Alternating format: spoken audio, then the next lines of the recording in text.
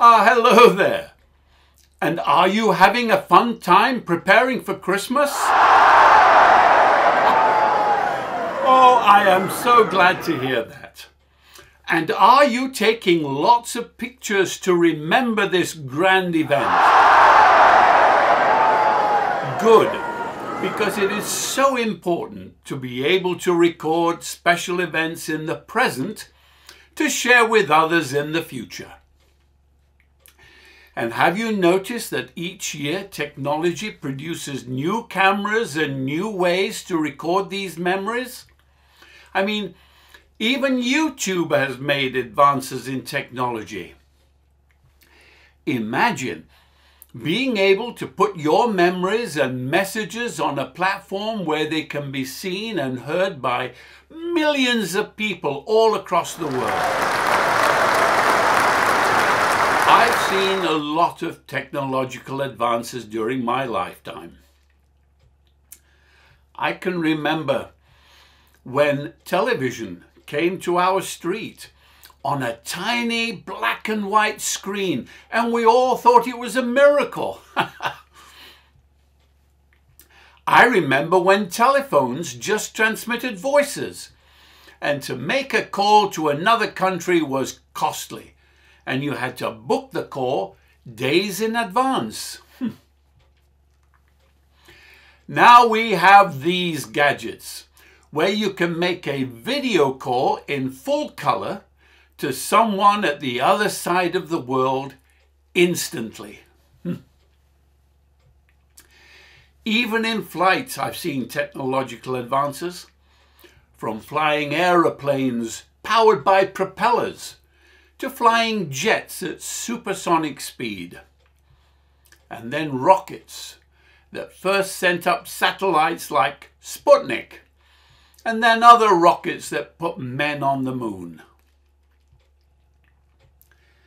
Many of you, I suppose, weren't even born when these things took place, but there are pictures still around that recorded those events so today's generation would know that there once was a world without mobile phones and spacecraft and television. I was thinking about all of this when I came across some old pictures of Voyager 1. Have you heard of that? It was the first interstellar spacecraft to be launched, and it was launched in 1977. Yeah, 1977. Did you know that during the last week of August in 1989, nearly 12 years later, that same spacecraft, Voyager 1, sent back some really breathtaking pictures of the planet Neptune and of its rings and moons. I recall that the news media didn't give it much more time than local sports. But the pictures sent back from space to, space to Earth in those few days changed forever our concept of Neptune and its moon Triton. Hmm. Even the scientists who designed Voyager never dreamed what was going to be revealed. Now, they hoped the spacecraft would work for, well, maybe five or six years. They also hoped it would fulfill its then intended mission. But then they thought it would simply lapse into silence, never to be heard of again. Hmm. But now we know its power supply will keep it operating for years and well beyond our solar system. I, I was thinking how miraculous it was when these pictures were received.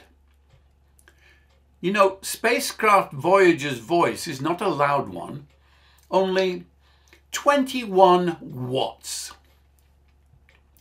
But from 5 billion kilometers in space and requiring more than four hours to reach Earth, its signal was only about one 20 billionths of the power required to run an ordinary electronic digital wristwatch. Hmm. You know, after Voyager had been launched and was already six or seven years into its voyage, a new receiver was devised by scientists at General Electric. That receiver was hooked up to a dozen or so giant antennae near Socorro, New Mexico, linked together in a configuration that constituted an enormous signal receiving dish. And it had the capability of receiving a signal from space as weak as 12 billionths of a billionth of a billionth of one watt. Hmm. Now, for you mathematicians, the way to write that would be 10 to the minus 28. Oh, yes. Now, by anyone's standards, that barely qualifies as even a whisper. But because of that faint whisper, our understanding of the cosmos will never be the same. It was enough. And now there are plans to send people to Mars. And believe it or not, one day, flying between the planets of our solar system will become as commonplace as going out to the mall to do some shopping. Now that's something that you younger ones can hope for, eh? And hope is what this season we call Christmas is all about. It's hope for a better future that even if the present can seem hopeless or even desperate. 80 years ago, beginning on the 8th of September 1941, the Nazi armies besieged a place called Leningrad, as it was called then. And they sieged it for 900 days. Virtually every building was destroyed. People lived through bitter cold and near starvation.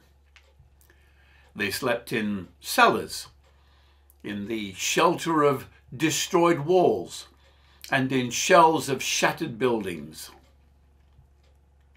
For months they lived on nothing but a small handful of bread every day. Still, they resisted the massive power of the German army. But amazingly, in the midst of all that destruction and death, there were babies being born. Hm. How ridiculous that seems now, doesn't it? What a world to bring a little child into. I mean, didn't those people know they were going to die? Didn't they know there was no hope? So, what is the meaning of a child being born? Hmm? For destruction and death? Hmm? No, because even in the midst of that terror, there was reason to hope for life. It seems the Creator has endowed humankind with a bit of the divine nature by which hope is born again and again to bring light into the darkness of despair.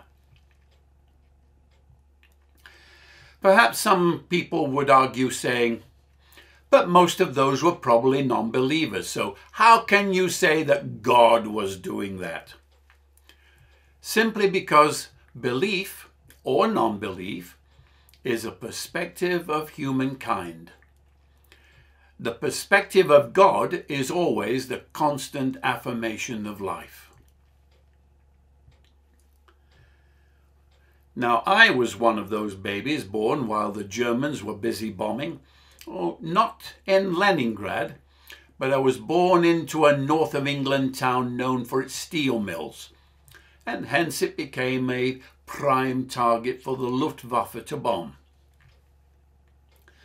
I came into this world during an air raid, and my first view of this wonderful world was the inside of a bomb shelter at the bottom of our garden. I was a reason for life and hope for my family at that time. Hope that one day the bombing would end and children could play in a world at peace. 80 years ago. You know, hope is a fundamental human strength available to everyone.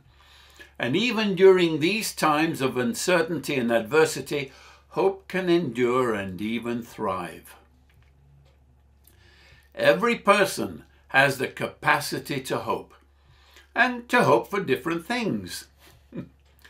Some hope to win the lottery. Good luck. Some hope to get a promotion at the office or workplace.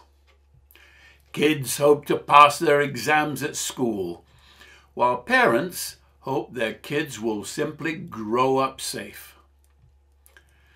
Sadly, these days, many are hoping that those in power would seek a path of peace rather than war.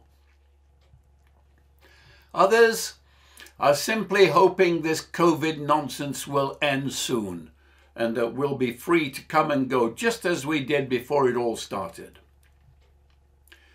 But I think all of us hope that babies born now and in the coming weeks and months will grow up in a better and safer world than the one we were born into. So, as you gather together as families to celebrate this season of Christmas, may I offer you my very best wishes and blessings. And as you think about the reason for this season, the birth of a child in Bethlehem, May I also encourage each of you to celebrate the wonder and miracle of life and rejoice in the hope that it brings to all of us for a better and brighter future. May I wish each and every one of you a very happy Christmas and a hope filled new year. As Tiny Tim says, and God bless us all everyone